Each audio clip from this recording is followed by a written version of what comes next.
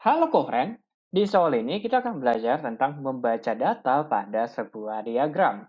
Nah, kalau kita lihat di sini, Kofren, bahwa kita mempunyai data tentang jumlah pasien di sebuah klinik selama satu minggu. Jadi kalau kita lihat di sini, kita punya datanya, di mana kalau kita lihat di sini juga bahwa yang ditanya dari soal itu adalah berapa sih selisih dari jumlah pasien pada hari Selasa dan juga Kamis. Nah, kalau gitu langsung aja kita akan belajar bagaimana sih cara kita membaca data jumlah pasien pada diagram yang sudah tersedia. Nah, di sini kalau kita lihat nih, friend, pada bagian bawah diagram yang mengarah ke kanan ini itu melambangkan hari dari data-data itu diambil. Jadi ada hari Senin, Selasa, Rabu, sampai dengan Minggu. Sedangkan untuk yang ke atas, yang di sebelah kiri ini, yang mengarah ke atas itu adalah menggambarkan jumlah dari pasien yang kita ambil pada hari-hari tersebut. Nah, jadi ada 5, 10, dan seterusnya.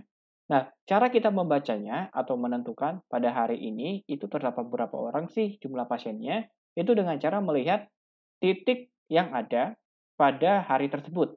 Kemudian kita bisa tarik ke sebelah kiri sehingga akan menyentuh salah satu angka di daerah atau skala dari jumlah pasiennya ini. Nah, itulah yang melambangkan jumlah pasien pada hari tersebut. Contohnya bagaimana sih? Kita lihat dulu. Bahwa di hari Senin, itu kan titiknya ada di sini nih, friend. Lalu kalau kita buat garis putus-putus ke sebelah kiri akan menyentuh angka 25. Yang artinya bahwa pada hari Senin terdapat 25 pasien. Seperti itu.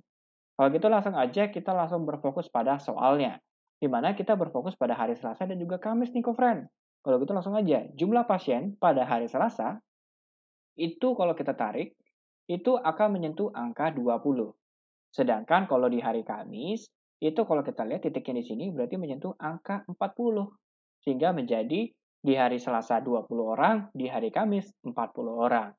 Nah, karena yang tanya itu adalah selisih, maka kita tinggal kurangkan aja nih nilai yang ada di hari Kamis dan juga Selasa. Tetapi ingat untuk selisih kita selalu ambil yang paling besar itu di depan.